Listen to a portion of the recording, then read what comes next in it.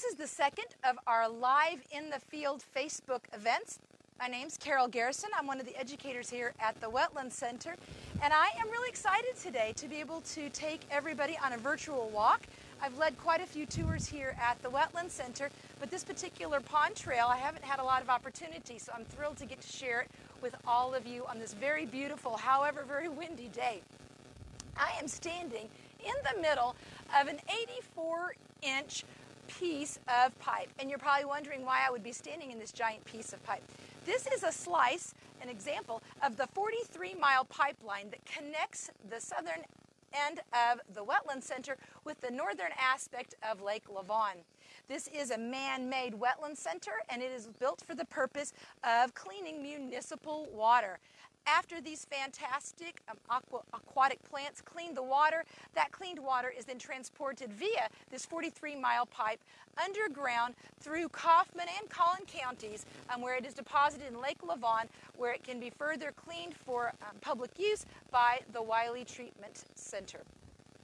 Now, I didn't have this particular stop first for us to go see, but I was quite lucky. One of our other educators told me that a killdeer had put a nest right in our parking lot. So why don't we go head over there and go take a look at a killdeer nest?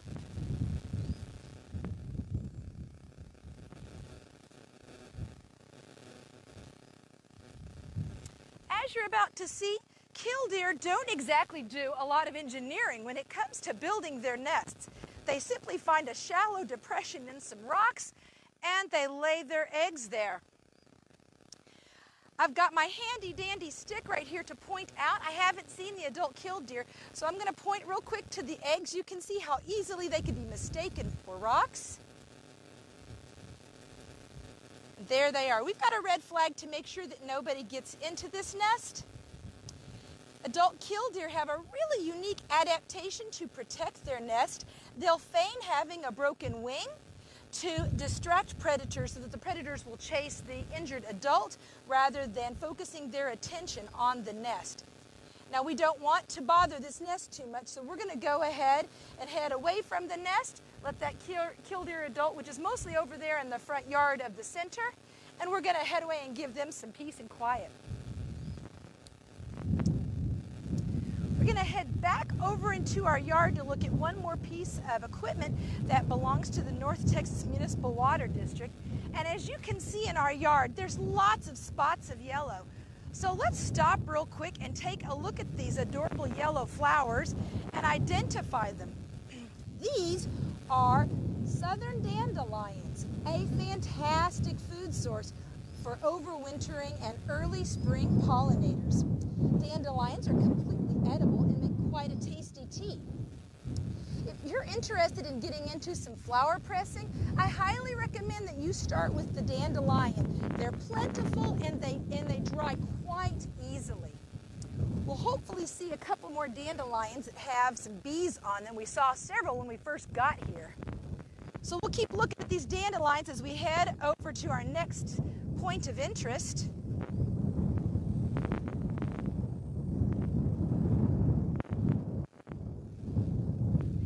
And I'm going to let my cameraman know that to the right we've got an adorable bee that is just doing some fantastic pollinating on that dandelion right there as, as she flies away. Oh, now she's going to go over to this one. Live filming is always adventurous. You can't exactly ask the wildlife to stop and pose for you, but bees are such an accommodating species that they don't mind being photographed. Let's head on over to this interesting contraption. It looks like a moon lander in the front yard of the Wetland Center. This is the weather station that is owned and operated by the North Texas Municipal Water District. This particular station measures temperature, wind speed, humidity, and barometric pressure. And they use this information to take into account when they are assessing the water and their evaporation rates. Now we're going to go past the water, the water, the weather station, and we're going to head on to Martin Lane. And we've got some beautiful white birds that have landed in the field right across the street from us. I'll give anybody a few seconds to try to guess what they think they are. I'll give you a hint. They really like to hang out around cattle. That's correct. These are cattle egrets. Cattle egrets have a very good relationship with cattle. They tend to to go through all of the waste of the cattle and they look for all sorts of little bits of nutrition inside them. Now, while you're looking at these cattle egrets, you have realized that there looks like to be some sort of ranch or farm across the street from the wetland center. This is Rosewood Ranch. It is a working cattle ranch, and you can see the beautiful cattle over to the right. I didn't see the cattle here yesterday, so I'm pretty excited to not only have a virtual crowd going on this walk with me, but now those beautiful cows are clearly have taken interest in us, and they're going to be following along, I think. Well, let's head down Martin Lane.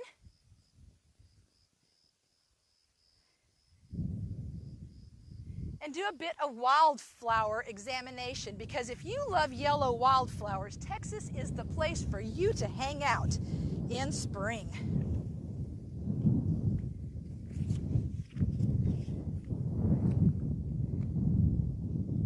Now one of our egrets decided to give us a nice flyby. So we've talked about that one dandelion.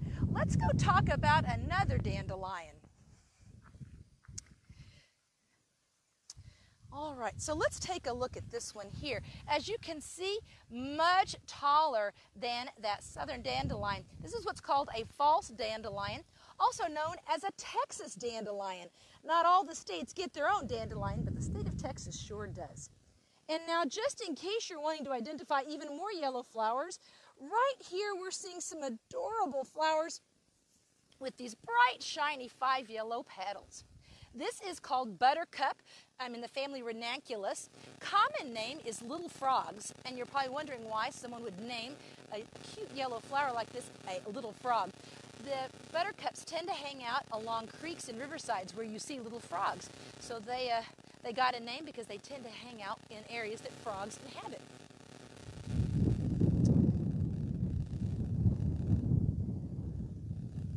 Now, right to the left of us here, you're seeing a small orchard. The, the Rosewood Ranch does have the Sands family that is adding to their orchard here. They planted some of these peaches and plums in the past years, and it's their plan to expand this orchard. And uh, one of these days when we take a tour, I expect to see a full orchard all the way down Martin Lane.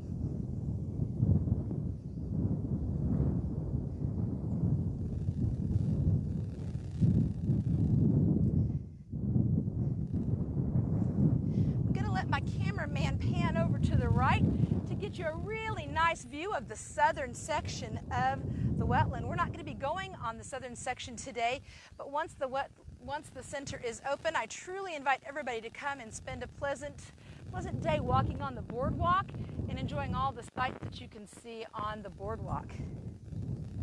We're going to keep heading down Martin Lane.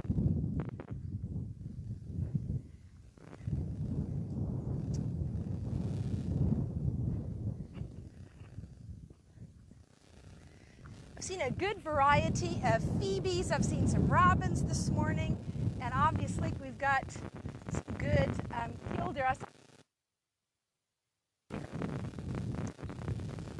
Just as we pulled up, we got to see a beautiful red-tailed hawk. So I'm hoping another one of those decides to uh, to give a little bit of a presence later this morning. Now, we've talked a lot about yellow flowers. How about we go into the other end of the color spectrum because I'm seeing some beautiful color over here on the left. So let's take a look at this beautiful native Texas wildflower. The flower has a much of a cup shape, I would say. And wouldn't you say, agree with me, that that's the color of wine? Well, then it's not a coincidence that the name of this flower is a wine cup. Wine cups have um, one of, they're one of my favorite wildflowers for this reason. They bloom for over two weeks. They open up every morning with the sun, and as the sun goes down, they close up. And you can see, like this one's just starting to open. This one over here was completely closed up when we first got here about an hour and a half ago. I bet these will be completely opened up when we're done with our walk. As you can see, we've got these few here, but look at this larger field here It's one of the things I love about Texas wildflowers is how beautiful they seem to all match together. So now you should be able to, to recognize that we've also got some of our Texas false dandelions mixed in with these beautiful wine cups. Well, we're going to head back out onto the road.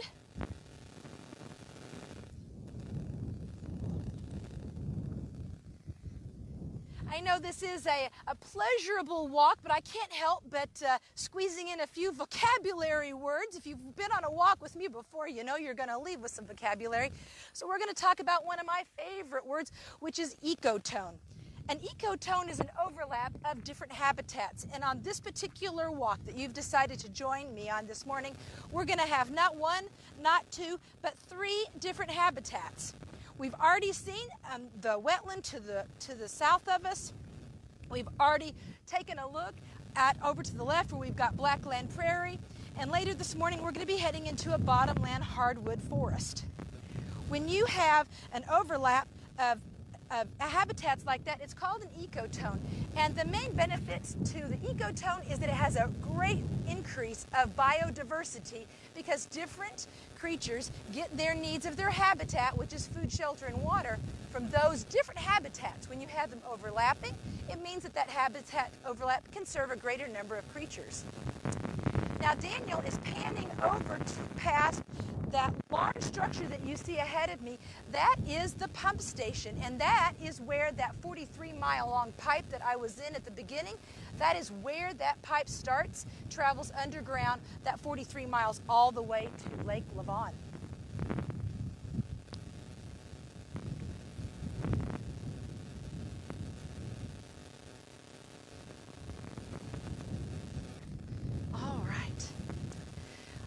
Lavon. the left, we've got ourselves some big, beautiful trees. Does anybody know what those are?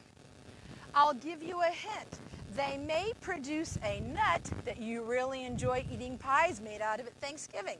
That's correct. These are pecan trees. These pecan, these pecan trees have been on the property for a considerably long amount of time.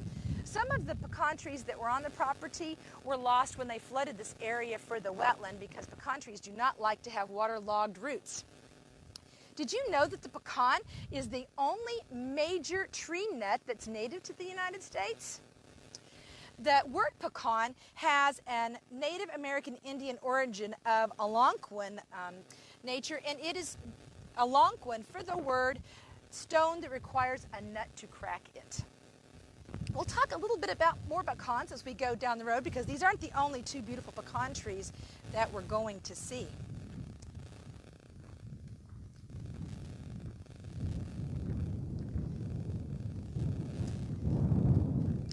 As we head down this road, I thought I'd give you a little bit of information about the Rosewood Ranch.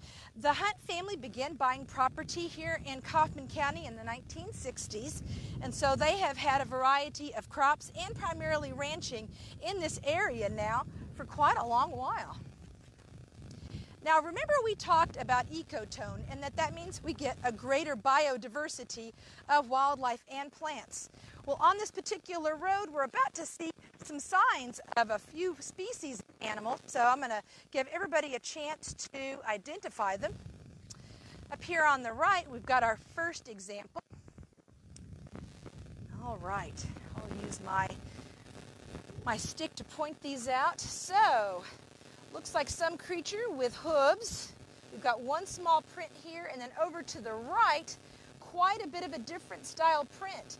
No, the only reason this print is quite different is because in this particular road, the water stands here, so this was much softer mud for that animal to sink in. Now, this particular animal is invasive in this area. And we hear the word invasive a lot, so I'd like to give you a definition for it. A creature is considered invasive when it does harm to an environment that it is not native to. And this is an, a non-native invasive creature this is a footprint or a track of a feral hog.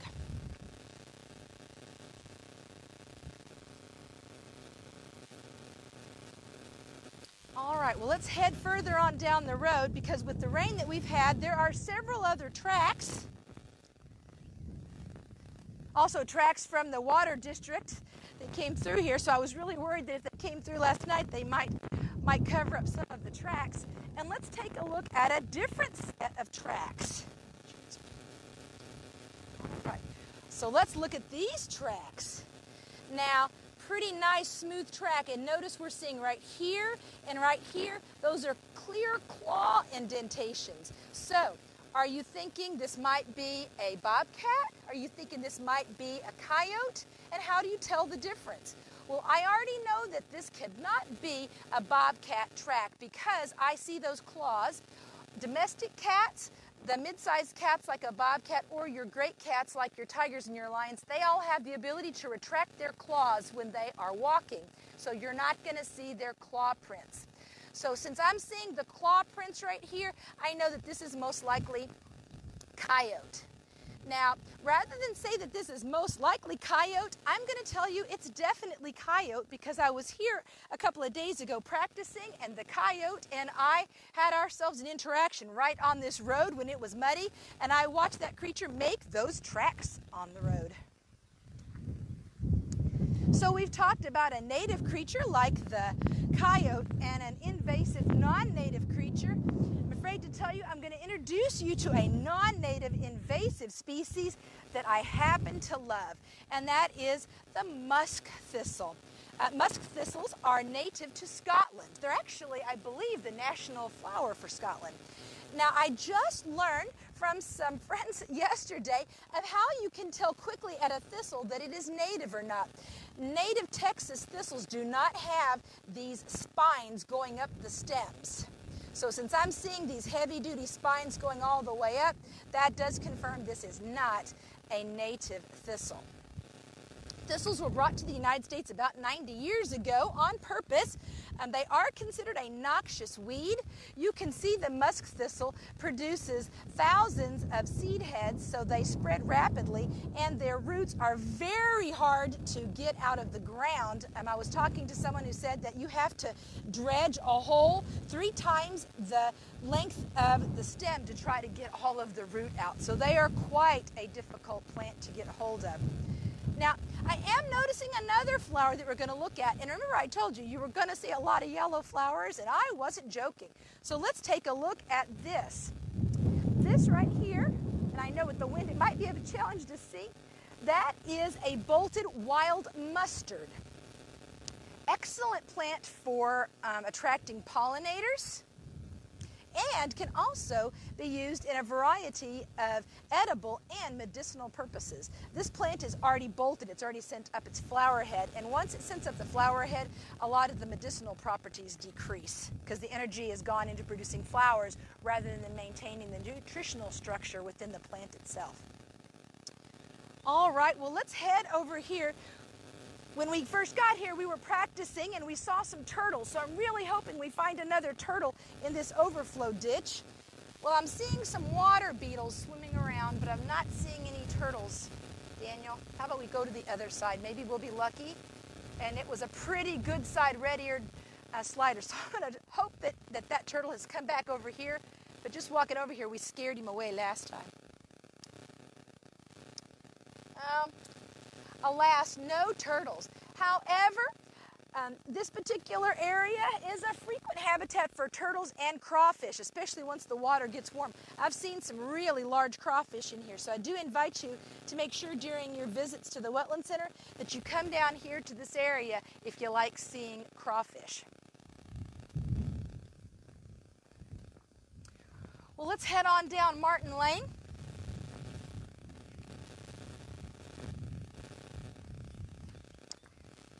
And we're going to stop right here for a little bit because there are a few really interesting things to look at. To the left, we have the lagoon. And if you look all the way at the end of the lagoon, you'll see that pass through for the water. The water is in this lagoon. It naturally moves from one part from the central section to the southern section just by the grade of the land. And as we get over here to the southern end of the lagoon, you're going to see two interesting looking structures. These structures are called weirs, and they are the gates that control the flow of the water from one area of the wetland to the other. Rather than a gate that you lift up and have the water flow underneath, weirs are manually pushed down and the water flows up over to over the over the structure so that you don't have the silt or any of the dissolved solids going from one area to the next. So now that we've taken a look at the weirs in the lagoon, we're going to turn around to the other side of the road and we're going to take a look at the water monitoring station. this station, again, is owned and operated by the North Texas Municipal Water District. It has two purposes. On the, on the two readouts you can see, it is measuring the rate of, of water flow in gallons um, real time and reporting that information back to the water treatment plant in Wylie. The other measuring that it's doing is it's measuring an accumulated um, quantity of gallons flowing over a 24 hour period.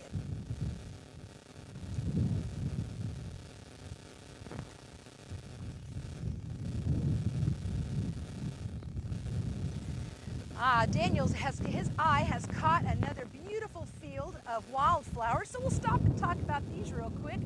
These beautiful flowers are called pink ladies. Um, they are primrose, but a common name is often the buttercup. Now remember, we've already learned about the buttercup ranunculus. These flowers, and I grew up calling them buttercups as a kiddo also, the reason why they are called buttercups is they produce profuse amounts of pollen. And that pink cup fills up with all of that pollen and looks like a cup of butter.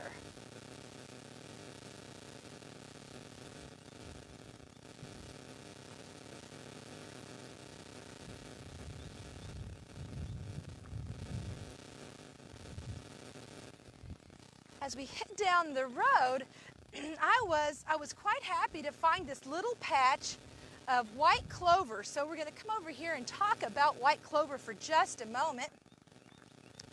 White clover is a, is a truly beneficial plant to any habitat. It is considered a great living mulch. And oftentimes in large scale agricultural operations, they will put rows of white clover in between their actual money crop to help act as a erosion protection and to fix nitrogen from the air to enhance the soil quality. Now, a challenge for Daniel right now is going to be that, that there is a blue damselfly to his left that's buzzing around on these grasses over here. Ah, and he's got one that's on the grass in front of him, I'm guessing. Excellent. It's, that's a challenge to catch damselflies because they are hard to see.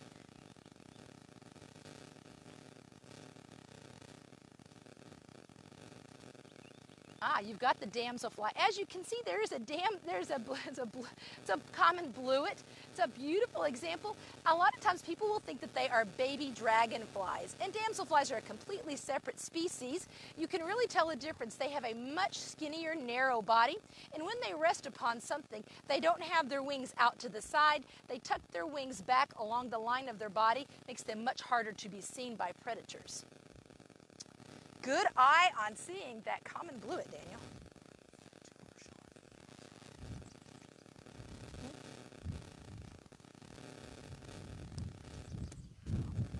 Oh, absolutely, and we're, we're walking. I, I hear there's a question about the Eagles um, Tower. I definitely am on the way back. I'll make sure that we point out the Eagle Tower. Where we're standing right here, I can't see it, but um, thank you for reminding me. We'll make sure that we head back and that we show you the Eagle Tower. Might make the live event a little bit longer because I was planning to end it at the, um, at the trail, but I certainly don't mind coming back and showing you that Eagle Tower.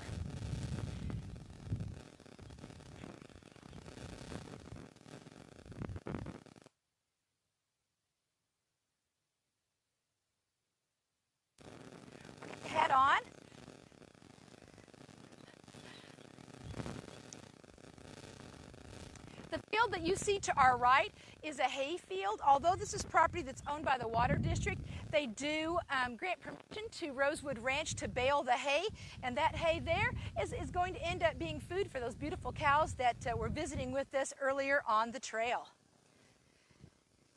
Now, as we head around, you're going to see some large equipment. You may be wondering if there's some major construction going on. This is just the staging area for the Water District. They keep all of their equipment and their spare rock here. They are responsible for the maintenance and care of the roads that we are walking on right now, and so they just have their equipment here for when they need to conduct those repairs.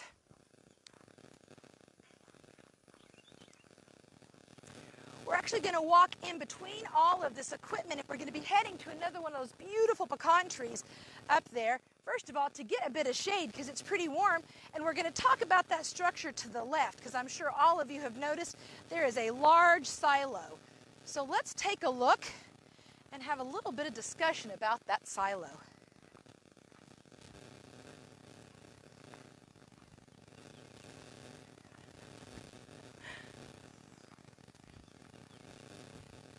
Quite disappointingly, there's been a large group of um, buzzards that I was really hoping to get to introduce.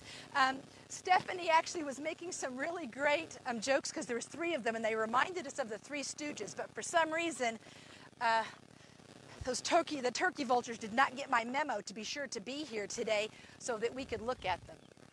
Well, Daniel and I are going to head under the shade of these beautiful pecan trees and talk about that silo.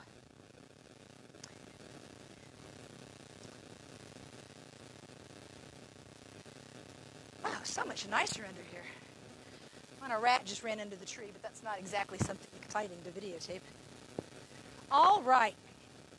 So let's talk about this silo in front of us. This is a stave silo. it is made out of concrete. Stave silos were often made out of metal or wood or concrete in tightly connected bands to make them airtight. Now, the reason they made these silos airtight so that they could store silage, mostly corn, in here for future cattle consumption. When they would store the silage in here, it would actually ferment. And no, the farmers were not making beer out of the corn.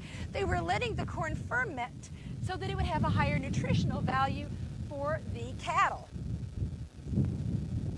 Not only was the silo not only was the silo built in this location for convenience to feeding the cattle, it was also very close to the railroad track for easy loading and unloading. This silo was part of the cave farm, and the cave farm was on this property during the 30s and the 40s. The cave family had parcels of land set out for the sharecroppers. I happen to have a really great out, so let me bring out my photograph.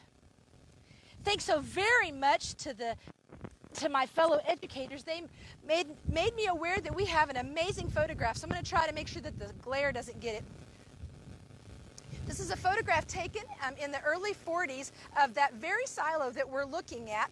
The young lady you see sitting on top of a tractor is Carolyn Cave, one of the daughters of the family that owned the land. She's now Carolyn Black. She's obviously been married married since then, but that is Carolyn Cave sitting on a tractor right next to the stave that we are looking at today.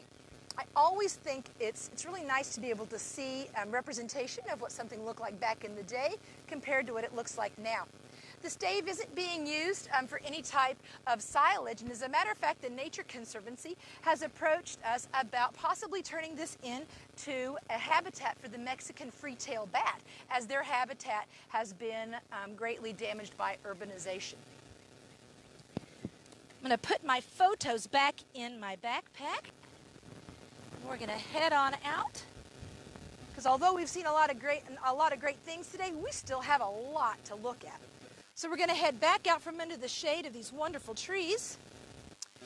And we're going to go look, and I know I told you, almost every one of my Texas wildflowers tends to turn into my favorite one, but um, this one is it. It is my number one favorite. It's right here on to the left. I love this plant for many reasons. Number one, it has a fantastic name. It's called hairy vetch. Um, vetch is, an, again, like that white clover that we talked about, an incredibly beneficial plant for its environment. It's a great nitrogen fixer. It's a great pollinator attractor. It also has legumes. And I'm going to try to get in here. So you're going to be seeing my hands in here, and I'm going to see if I can try to find some of the edible legumes that's in this crop of hairy vetch, if I can find any. There's all sorts of other plants going on in here, so I might not be able to find one. Let's see.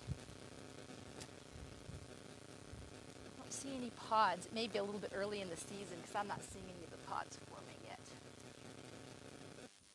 But it is an excellent, like I said, soil stabilizer. And um, like the white clover, it fixes nitrogen out of the air and it is turned over as a living compost or green mulch in many sustainable agricultural fields. Hairy vetch, one of my favorites. All right. And by the way, if you haven't figured out, Hairy vetch also happens to be one of Daniel's favorites. Now, how many of you have heard of the beautiful blooming dogwoods of East Texas? Probably most of you, but did you know that north central Texas, we have our own native dogwood too? And we're about to come up on it on the left. It is the rough leaf dogwood. Rough leaf dogwood is a fantastic capstone plant in, in any native landscape. It produces hard white fruit that is food for over 40 species of bird. It also attracts jumping spiders, yay!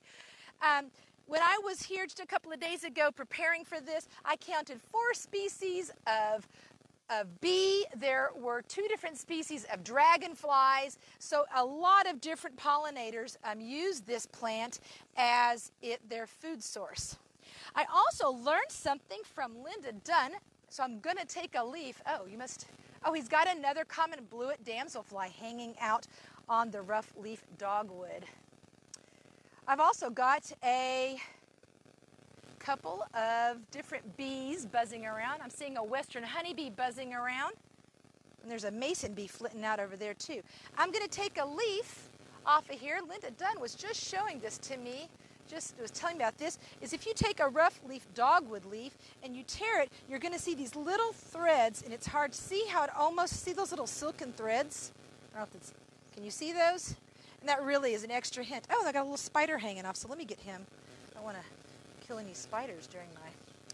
That'd be horrible to kill a spider on live, on live feed. So you can see that leaf. So I'm going to break it again so that you can see those little strands. See those little strands connecting it? It's a really good diagnostic tool if you don't have the flowers to help you identify that this is rough leaf dogwood. Oh, he's like, one more chair. Okay, and thank you so much, Linda, for teaching me this because I had no idea. Sacrificing this poor leaf. There we go. Now you can see those strands I'm talking about. See? And then they're going to come apart.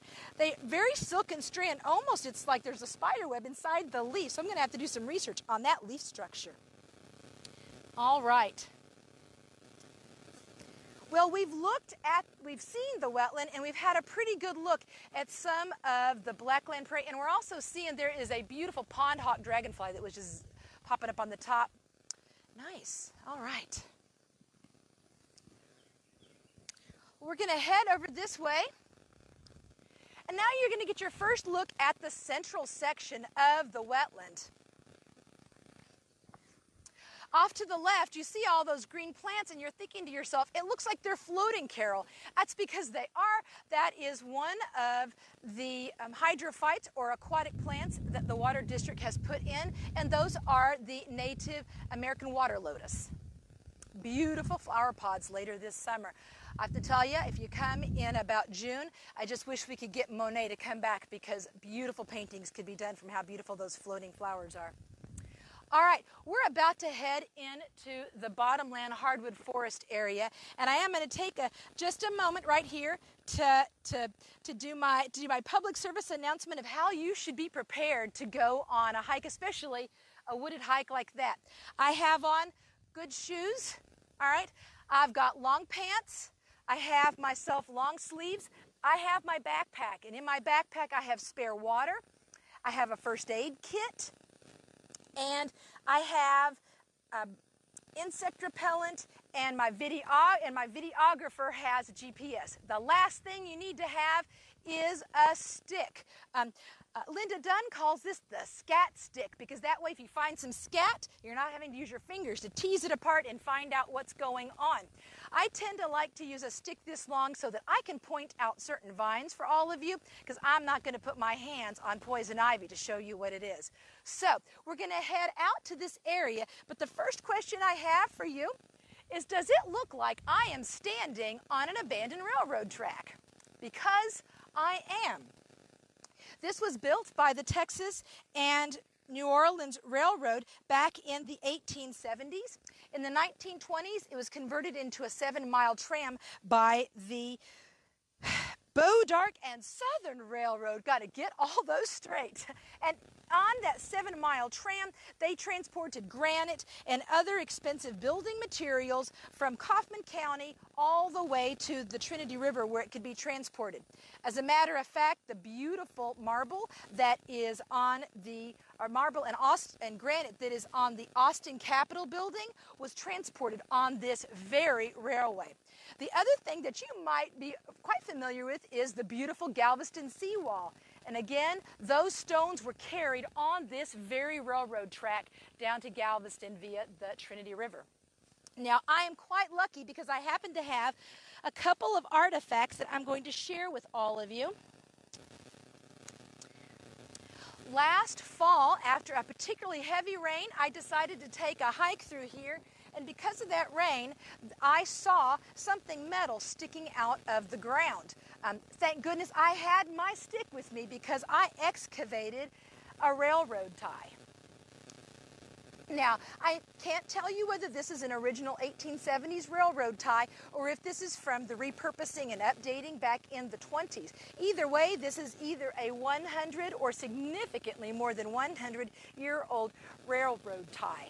And, and like the picture of Carolyn Cave, I love having a connection to the past. And so uh, this is definitely a treasured artifact that we do keep at the Wetlands Center. Hmm? All right, the other artifact I have, I recently gained just this past December. Again, we had a visitor that was coming through here, and the visitor said that because it had been a heavy rain, they saw something metal sticking out of the ground, and they unearthed this artifact. Um, thanks to my husband, who has been around horses his whole life, he has identified this for me as a roll bar buckle for a saddle. So whether this was a saddle that possibly the sharecroppers were using all the way back in the 40s, or whether this um, is even older than that, I'm unsure. But again, it's one of those fantastic artifacts that helps connect um, an area that we are today uh, with what it used to be uh, back um, a long time ago. All right, I'm going to put all my belongings back in my backpack. We're going to head out onto the trail. Wondering if it's going to rain on us. And there was a beautiful northern cardinal that just jumped into the uh, into that rough leaf dogwood, but he's already out of view. Ah, can anybody hear those frogs? Cricket frogs. Excellent. All right, well, let's head on into this amazing bottomland hardwood forest. Now, I told you how important it is to be well prepared for a hike, and so I feel obligated that I need to point out something that could really spoil your hike, which is not the beautiful dragonflies that just caught Daniel's eye. It is this plant right here, my friends, and that is poison ivy. Poison ivy can be a thin vine, it can be a bush, it can be a tree. I think that most people make the mistake of thinking that they only need to worry about poison ivy down on the ground. Keep in mind, poison ivy can wind up a tree, and you're unaware that you're walking through brush, wiping it away from your head, and that poison ivy is above your head. So, do be quite careful about it. Wearing sleeves and protection is the best way to keep yourself safe. A few little details about the poison ivy. The roots and vines have hairs on them, so it makes them a little bit easier to find during dormancy. It only takes one nanogram of, oh, now don't you spoil it look at those spittle bugs. That's later on. You just cover that leaf back up. See? Mm-mm-mm. Don't ever, now everybody's got high hopes because we're going to talk about spittle bugs, and Linda's going to be super excited because now, spoilers, there's spittle bugs out here with us. Um, the urushiol oil can last for five years on solid surfaces in fabric. So keep that in mind if you're like me and you go to thrift stores because you literally could buy something that someone else wore in poison ivy. The word urushiol comes from the Japanese word yurishi, which means lacquer. Believe it or not, a four ounce container of urushiol oil is enough to give every man, woman, and child on the planet Earth the poison ivy rash fun fact that I learned last night goats can eat poison ivy without any ill effect. Not only that, the milk that they produce does not have a discernible amount of urushiol oil in it. So you could very well be eating fantastic gourmet goat cheese like myself, and there could be possibly um, a non dangerous level of the urushiol oil in it.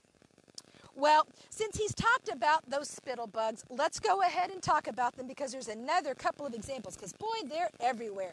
So let's talk about that because someone's been spitting in our forest.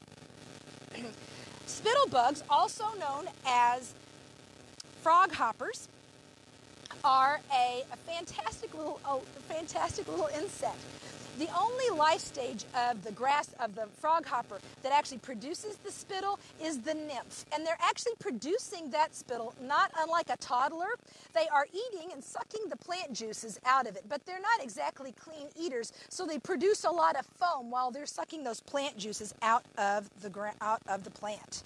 Uh, the, be very careful, there's poison ivy really close to that spittle bug, by the way. The damage that the spittlebug nymphs do to the plants is not um, endangering of the plant's life. It's just cosmetic damage, so there's no reason to do anything to, uh, to get rid of any of the spittlebugs. All right, we're going to head on.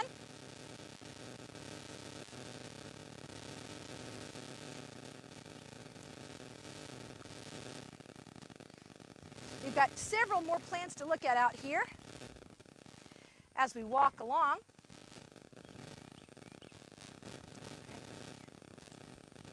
So we know we've got poison ivy, and we know the old statement, right?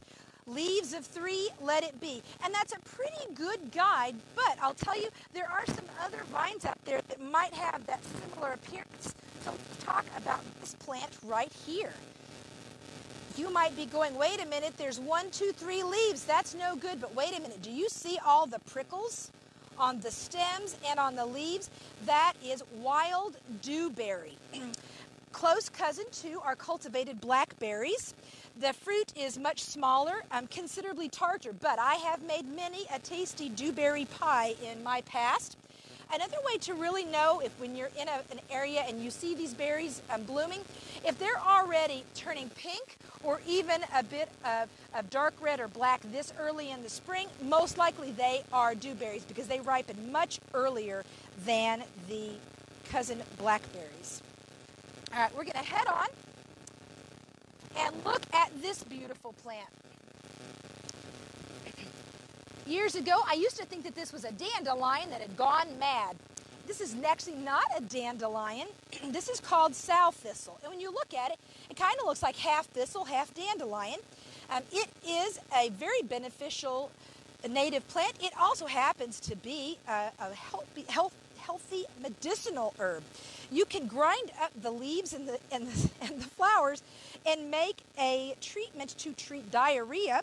If you want to break the stem in half and get out the latex in the stem, that sap is an excellent treatment for warts.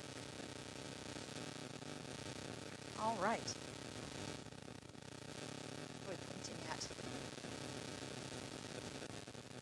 Oh my goodness, we've got ourselves a beautiful pennant dragonfly. Ooh.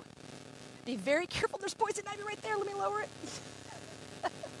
Because Daniel's had his hand somewhat next to a poison ivy, the last good words of advice I'll give you is that washing your, your body thoroughly with Dawn Blue dish detergent is the best way to break that urushiol oil. And he'll definitely be washing his hands when he's done. All right. Now, if I asked you to now we're going to look for some bees, how many of you would start looking up in the trees looking for a beehive? You know what? You wouldn't be looking in the right place, my friends, because did you know 70% of bees actually nest in the ground? And right here, we have got ourselves a large collection of ground bee nests. Native, native ground nesting bees are solitary. That means each female has her own nest, but they are considered to be gregarious nesters, which means that an individual bee controls this nest, an individual bee controls that nest, but they enjoy and prefer the company of each other. These native bees are not aggressive. As a matter of fact, the males of the species do not even have stingers, and the females will not sting you unless you actually handle them.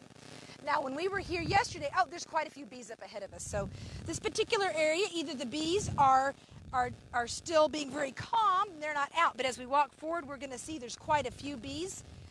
Here's like three or four of them right here. And I know they're really hard to capture on video because they move a lot.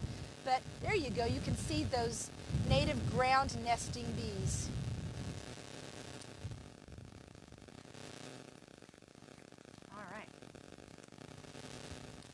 We're going to head back over because I do have two more vines to look at just because poison ivy can't get all the attention. So I'm going to try not to crush a bunch of bees. That's not very nice of me. Going to come back over here and we're going to take a look at this vine right here. This particular vine is often mistaken for poison ivy, but let's count these leaves. One, two, three, four, five clearly not poison ivy. This is Virginia creeper. Does not cause any rashing, and it is in the grape family.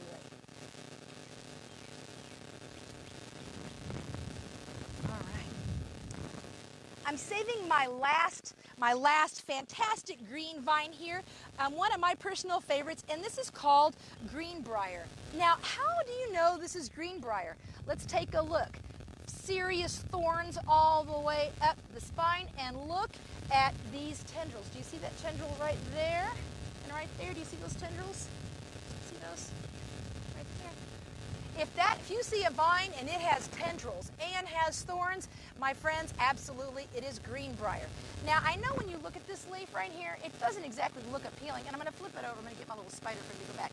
Look, even it has, it even has those little um, prickles on the backs of the leaves. I know it doesn't look appetizing, but this plant is completely edible. You can steam the fresh shoots like this and the leaves like asparagus. In the late summer and fall, this vine produces white berries that have their own gelling properties, not unlike a cranberry, so that you can make jams and jellies. And they have a very starchy tuber that you can boil like potatoes. Now, I'm going to, normally we, we agreed, Daniel and I agreed that we weren't going to back up. However, I found some dewberries that are ripening and turning red. So I'm going to try not to crush a couple of hundred ground bees so that we can show them. Because I talked about how the fact that they ripen really early. I'm going to get this greenbrier out of the way. And now you can see those two dewberry that are already turning red. Yummy. They do take more sugar if you're making pies, just, just FYI. Or just put ice cream on top of the pie.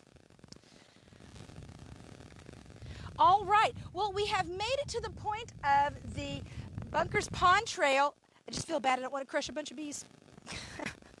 We've made it to the part of the pond trail that um, I decided we would stop and then we'll continue this trail on two weeks from today when we go ahead and go through the thicket. We'll go past Bunkers Pond.